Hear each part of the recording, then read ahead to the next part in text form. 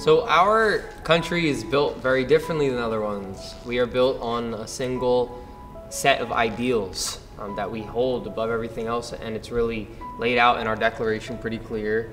Um, you know, we are all created equal. We are endowed by our Creator with certain unalienable rights, and those rights are then shown how they can be exercised in the Constitution. And because of that is how is why our representatives, our president, swears an oath to the Constitution, not to the people, because the Constitution represents ideals that don't change. They're, uh, they're things, that they're revolutionary ideals that have never changed. And those ideals built our entire culture, built our society.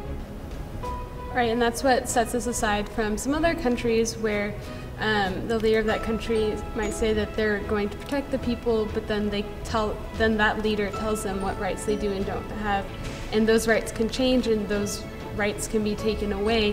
Whereas when we have um, governmental leaders who swear to protect the Constitution, which lists our rights, and those rights can't be taken away, that's a really big difference.